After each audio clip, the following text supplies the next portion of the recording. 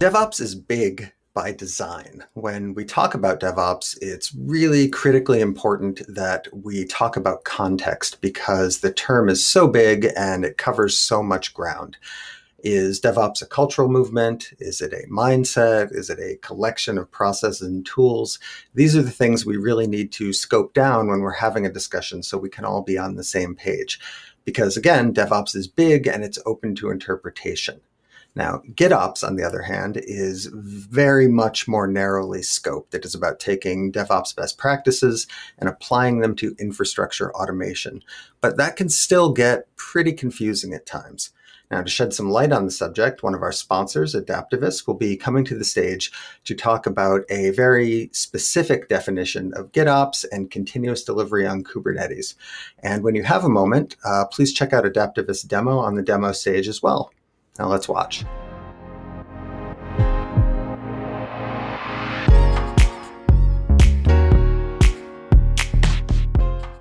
Hello, hello, hello, and welcome to GitLab Commit's virtual session on GitOps. What's in a name? My name is Rasmus Praestholm. I am a principal DevOps consultant at Adaptavist. I am at Cervator pretty much all over the web. Today's session is going to be on GitOps, which is clearly the new hotness based on all the sessions and tools and things coming out about it. But what is it becoming? What are different things called GitOps? Are they really? And so on and so forth. I am going to cover a few flavors of GitOps out there, which can be sort of confusing to get a hold of. So I'm covering uh, something I think of as true GitOps, which is the sort of original things that Weaveworks came out with with Flux, and it covers Argo CD and so on. These generally serve as extensions to DevOps, as if it's a, it's a small additional piece, it's a small narrowly focused process that you follow to do a specific thing. It relies on uh, continuous delivery, Kubernetes, uses an operator, and is a pull effect. GitLab also has a series of uh, things called GitOps, which we will detail a little later. In their case, it's really more of an evolution of DevOps. It's sort of everything is becoming GitOps because there's a bigger focus on using merge requests and Git and putting everything in there, especially for your on. So in their case, it covers CI/CD. It uses some agents for, for Kubernetes in some cases. And it kind of mixes both push and pull when it comes to how changes flow in what sort of direction. I have a third one that's a little bit more goofy, which is Hobo GitOps, and I will get into that name a little later. But in short, it is any sort of approximation of GitOps mainly the true form of GitOps, the, the, the one that's the closest to the, the real intended original thing. Which means that there's some sort of operator-ish thing. It's not necessarily one of these like nice things like you would get with Flux or Argo. But the idea is that you need to be following some sort of operator pattern, which involves pulling your changes from Git into a cluster or some sort of restricted environment. Finally, there's also a category I think of as might as well be GitOps. These are things that are not explicitly listed as GitOps, but they might as well be because they're really following the spirit and, and pretty much could be branded that, but for whatever reason they're not. One of these options is something that Google kind of generically calls application delivery, which is a push only type thing if there's, a CLI that pushes changes into an environment. But since it's a CLI that can serve as an operator, you could put it into an automation system of some sort and really use it as a pull effect instead. So let's look at these in a little bit more detail. True GitOps is what I consider the original that was coined in 2017 by Weaveworks as operations by pull request. The focus is to extend the stuff that you're already used to through DevOps. which includes CI and particularly the supporting culture of getting developers and operations professionals closer together and get them to just work better together with tools and APIs and process as opposed to the good old just throw things over the wall. Specifically, True GitOps is an opinionated approach for how to do CD, which is something lives inside a Kubernetes cluster and pulls changes into it as they're merged into Git. It does not accept pushing things into a cluster because that means you have more access than you need in that cluster. You really kind of rather want to have a declarative Git repo that you just go update, and then when it's updated, well, something in the cluster pulls changes into it. So tools like Reflux or Argo CD provide this with a lightweight operator of some sort inside the cluster for security, so that after it's set up, you don't need to have anything outside the cluster actually able to reach into it. There are some secondary topics then. So for instance, Argo CD has a nice operation UI, which allows you to do a extra things. And there is also that piece about how you actually set up the cluster in the first place, which does require admin access to the cluster. It requires some extra bits and pieces. But in this uh, context, it is not part of GitOps. It is part of the setup that enables GitOps. So, to summarize, true GitOps definitely uses pull with an operator inside the cluster. It is Kubernetes, and that's it. You can you know, approximate other things with other options, but this one uses Kubernetes. And it only does CD. There are some discussion about whether or not you can do some operations as well. So there are some newer options um, floating around where you also have some level of continuous operation floating around in part of this. But that's true GitOps, and there's a little link down here to the original um, description of it. And Weaveworks has a ton of articles on, on GitOps and such. So on GitLab, there's a bunch of different kinds of GitOps flavored things. So kind of in the wild world right now, GitOps is really being introduced as a buzzword all over the place, being slapped on anything, every product you could imagine with remotely actually Uh, related to true GitOps. I have actually been in a session on GitOps that I thought was going to be technical that got into talking about human psychology as related to GitOps. Okay, sure, right, all right, cool. So, GitLab tries to take a balanced approach. While True GitOps takes a relatively small thing and just attaches it to DevOps, GitLab really infuses the spirit of GitOps all over the place in DevOps. So as noted earlier, it's really more of an evolution. So things that are DevOps are now GitOps. Defined by GitOps, by GitLab, sorry, GitOps really just is infrastructure as code plus, mer plus merge requests along with CI/CD. Those three pieces, you have GitOps. Okay, you can sort of imagine these things infused into those processes. Particularly, this is a natural fit because GitLab tries to do all the things with the pipeline front and center to do all the things and run them. So generally, the GitLab pipeline is the master of all the things, has access to do all the things, and triggers and activates all the things. You can run other things as part of a GitLab setup, such as simply setting up Argo CD inside a cluster and work them separately. But that's your choice, and parts of that would still be GitOps to you know, a degree with, with GitLab, but at that point you're kind of sort of doing two different things that are just kind of bolted together, which may or may not work depending on um, your setup. More detail on this later, but in short, it is sort of a mix of push and pull. In some cases, you have a specialized agent for Kubernetes. In other cases, you're doing pretty traditional CI/CD as part of standard DevOps that will use Terraform and things to update a target, but while having absolutely everything stored in Git, managed with a merge request process, and so on and so forth. It generally covers both CI and CD, since it's the central pipeline doing everything. And oftentimes it's Kubernetes, but it can be applied elsewhere in sort of following the same spirit. And there are a whole bunch of articles as well on GitLab on the GitOps topics of various kinds. Lots of nice presentations and things too, if you're curious about going deeper.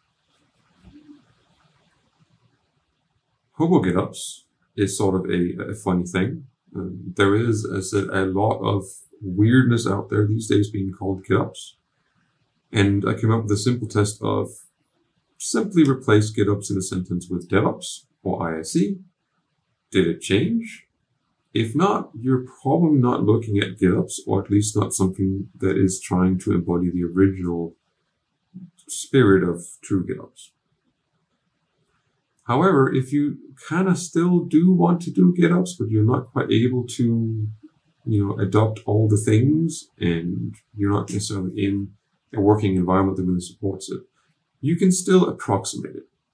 So there's a way to do all kinds of tools and just set it up to follow the patterns that approximate true GitOps.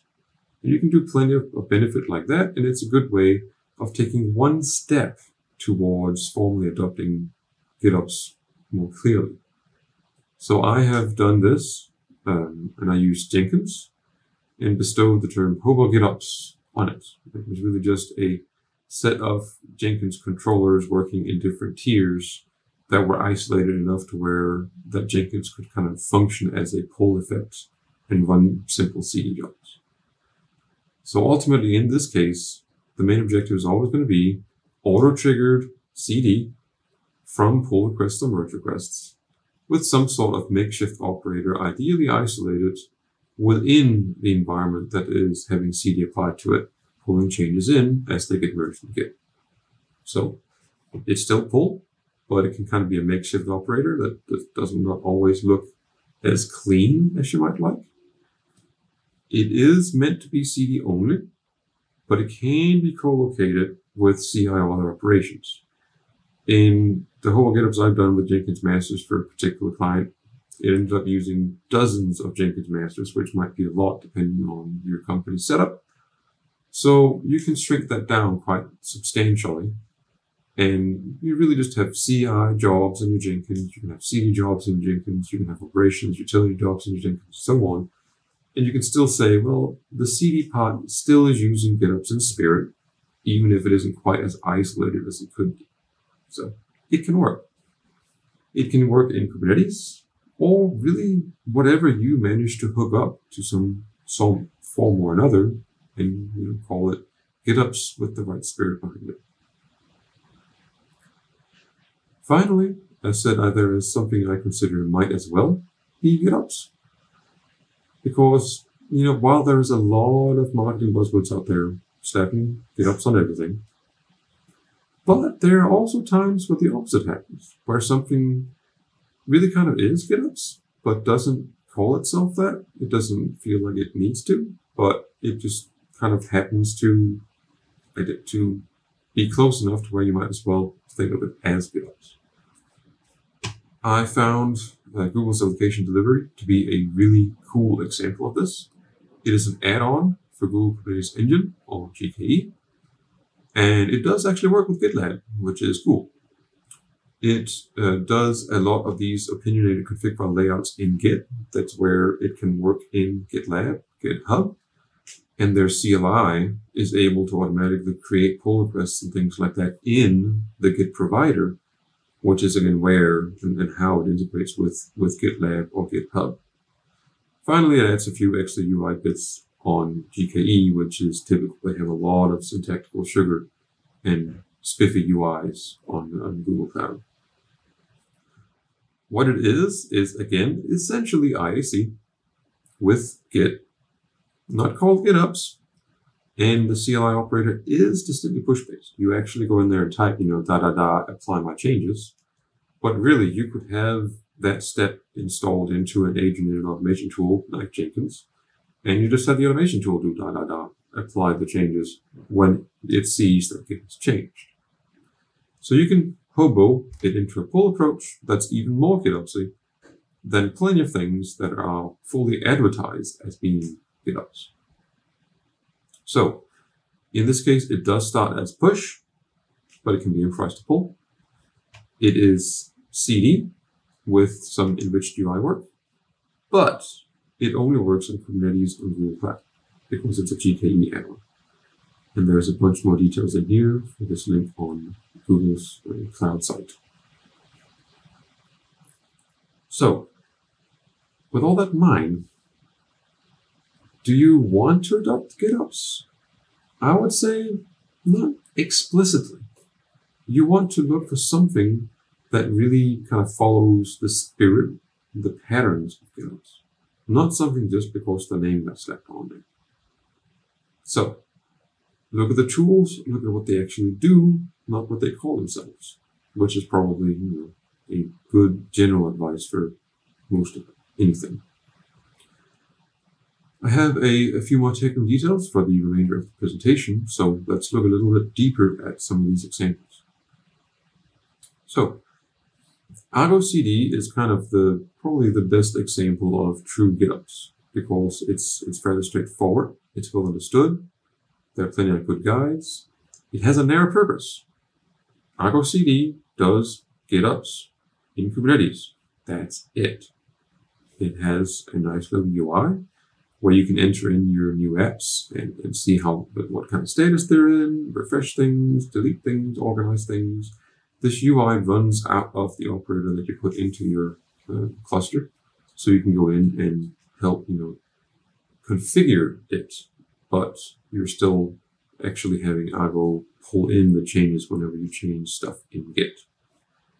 This is a straightforward setup if you can make a good fit out of the opinionation that Argo requires, which again is definitely Kubernetes. It's individual apps insofar that you, know, you make one app and it points at one Git repo and that's it. It takes care of itself.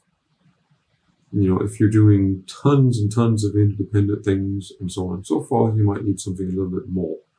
There is um, really cool things going on in Weaveworks' GitOps setup, where they have some scaling things that um, kind of give you another layer to this that they call profiles. There are, you know, as usual, going to be good materials and, and demonstrations for that floating around if you're curious about it. And for that sake, speaking of Weaveworks, and there was some talk about Weaveworks Flux and Argo CD actually merging at some point. But I recently found out that uh, that sadly was an abandoned effort. So we're still going to have two of them that kind of sort of end up doing most of the same thing. But you might find that some things in one or the other fits with your environment a little bit better. Finally, to be clear, Argo has both this UI as well as a CLI, where you can do things like, I want to register a new application. This is the Git repo it, it uses. Here are some, you know, e extra things to think about. You can do that either in the app or in the UI. It is really easy to get running. There are really good tutorials. You can play with it and it really helps visually, you know, highlight what is the core of GitOps? What's the point? What, what is it that you're trying to do with it and how is it different from other things? With GitOps, it's really more of a, a wide purpose and range of things that it helps you do. It's really kind of taken a lot of traditional things and then it's kind of just, you know, put a, a layer of GitOps and goodness on top of it all to just keep up with the latest, greatest process and best practices and patterns and so on and so forth. So in this case, there are three or four approaches depending on kind of the timeline. I think this this final one was in development uh, when some of the material I was looking at was uh, was had been written. I'm not quite sure if that's out yet or not, but the first three are for sure which is essentially the, the standard old fashioned push via your CD, CI/CD pipeline, which just, you know, as long as it uses Git as your declarative source of infrastructure setup and so on, counts as GitOps. There is one specifically pointed out that uses Terraform in a particular way. That's what this, this diagram here is. Which really gets into making sure that you know Terraform is setting up all your things correctly whenever your pipeline runs. Both of these are push. Both of these take full access because Git, uh, GitLab wants to have the ability to fully control the target clusters and do what it needs to do to it. That has traditionally been a bit much for some companies to swallow, just because that's a lot of um, you know power to leave in a tool, and we know everything can be compromised these days. And if it is, well, then you have access to everything that thing allows you to do. One of the kind of fundamental tenets of GitOps was to flip that around to where if you compromise something, you can't go and completely mess with and backdoor into production environments.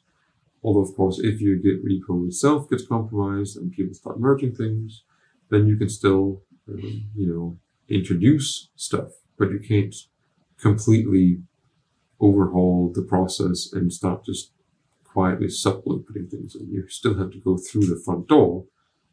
You just, you know, can get to the front door if you compromise a system like that.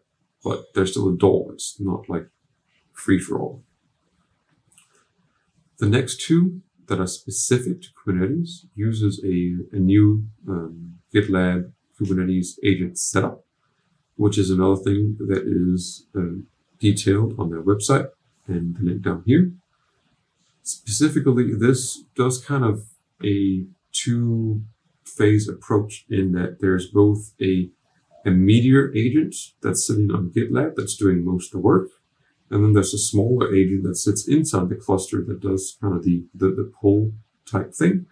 But the GitLab agent is the original thing that sets all these things up and handles some, some of communication and so forth. So it's a little bit more complicated and involved than simply having one of the true GitOps operators floating around in your cluster. And the, it said this sort of supports two different setups. One is the standard kind of pull because you have an agent sitting in the cluster that looks at your Git, pulling things when you want it. And there is one that is meant to use push, but with the advantage that it's using this established setup where you don't quite need as much access or permissions assigned to GitLab for it to be able to use it. So this is a more comforting option than old-fashioned straight up you know, CD with full admin access to all the things. Between these four methods, you can target both Kubernetes and other things. So I said, like Terraform, just point it at role AWS. It doesn't have to be using Kubernetes. It you know, still is IAC plus merge requests and do your things. And again, the first two has full access, and the second two are more uh, limited in what they need all this stuff really works well with the overall enterprise strategy that GitLab uh, promotes because you can you know consider all this part of the whole SDLC and just add GitOps where it's possible. So that's the deeper dive on GitLab GitOps. But for the really deep stuff, they have tons of video out there for you to look at and play with and examples and so on and so forth. This still mostly does a you know, sanity check on what different kinds of GitOps actually mean. For a little bit more on the Hobo GitOps, which is really anything you can make work that to some point approximates GitOps as much as you can within whatever constraint you're working with. That means it can be very arbitrary. This setup with um, different tiers and a Jenkins master per tier adds up a lot if you have dozens of teams and each team has, you know, three CD controllers as well as the CI, uh, Jenkins, and maybe a lab of some sort, you can end up with dozens or even hundreds of Jenkins masters. And sometimes that works. If that's just the size you're working at and it works for you, awesome. Great. If it works, do it. So it, it this leaves you with a lot of flexibility, but it's a a lot less guided and opinionated. So it really takes some discipline in actually coming up with a setup and not being tempted to say things like, well, yeah, I prepared this pull request from the QA branch of repo into production, but while I did get it approved, I need to make this one other change and I have access to this thing. So I'm just going to go like squeeze this change in just real quick because you know, we're not really used to GitHub. So we can just, you know, improvise a little bit like, no, no, no, resist the temptation. Try to be, you know, a, a good hobo GitOps or GitOps hobo and do it the right way. I said this example was using tiered accounts in AWS. That is, each team has a production account, which is of course heavily limited for access, a QA account, which is a little less limited, but you still need to use the, the regular process in there. You just can probably see some more things than normally. And then a dev account, which is where you have more full access as developers and can probably go tinker with things and make sure that whatever you set up for your Jenkins is actually working. Because in this setup, you, you know, you get these Jenkins masters as operators and it reads from, from Git, but it also requires you to actually code in the deployment job logic in, for instance, job DSL, so that when you have an application, that application has a CD in Jenkins, which knows how to deploy the application into something on AWS. So finally, as uh, noted earlier, while this ends up probably causing Jenkins sprawl unless you're really good at automating Jenkins or use really lightweight throwaway Jenkinses that are just completely like hit the button, magic happens, and it's up and running. You can do less and say, you know, you could combine two of these or all of them or include CI and sort of just have multiple things inside the controller as you see fit. If you have small teams and their stuff isn't very sensitive, maybe they don't need a whole bunch of different accounts and, and Jenkins masters and so on. Maybe they can do, you know, more with less. So it's really up to you. That's the hobo part. Just, it works. Finally, here is application delivery on GKE. This is going to, mm, I mean, you can sort of kind of imagine it being a little bit like Argo, at least on this one application's tab which normally if you're used to GKE, but you haven't used application delivery or all the things, this thing tends to be empty because it's really a place for add-ons and extra things. And with application delivery in place, you start seeing it being populated. So you have individual applications in here, which has, you know, your usual level of uh, information and components. And particularly to this setup is a very strong uh, environment identity. So you're really getting into using your app config repo to define these different environments and carry things between environments so that when you're in the UI, you can go look and see, okay, well, my staging environment is in here and prod is in here and the active git tag of uh, this one here, which is in staging, is this thing. So it's, it's, it's very nice kind of overview on the whole uh, environment um, between a to B and C and so on. They have a really nice uh, CLI. It seems like everybody in the log has their own CLI these days. But what I like about it is that it uh, it goes in and makes the updates for you and stages them in Git. It'll make the pull requests for you, which starts helping a little bit when you're trying to scale. If you're doing you know tons and tons of microservices and you need to make all of them work within Git, if you can just type in like, okay, upgrade, upgrade this dependency for all these things and magic happens and then you have 20 PRs. And then you can say, yep, that roughly looks right. Merge all of them. Magic happens. Cool. You are still using GitOps. It's just kind of automated at a meta layer of just getting crazier with how, how nice it is. But ultimately at, at the foundation level, it's still GitOps. Even though they never call it GitOps anywhere. It just uses the same principles and it's really cool. As noted, it has a really nice uh, UI integration on here on, on GKE. And it has that really extra focus, extra strong focus on well-defined environments and promoting code, these Git tags, between those environments, step by step by step. So, might as well be GitOps. And that was really it. Thank you very much for coming to this talk. I hope it has helped a little bit in in making heads and tails of what is GitOps, what isn't, and what might as well be. And hopefully, uh, by next year, we will be able to meet in person and hand out goodie bags with GitOps enabled toasters because you don't know. It could happen. All right. Thank you so much. Uh, maybe we can do some Q&A or something like that if we are around. And if not, if you're watching this recording, well, cool. Take care.